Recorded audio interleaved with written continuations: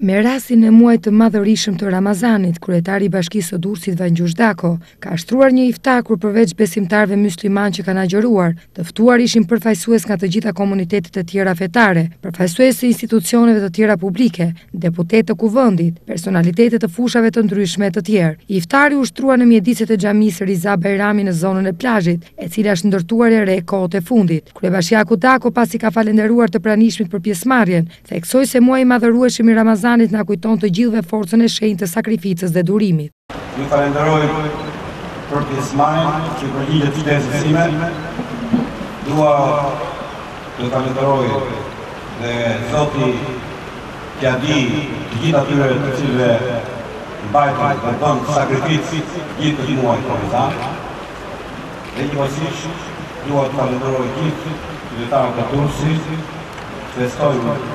me madhështi ditën e barabra.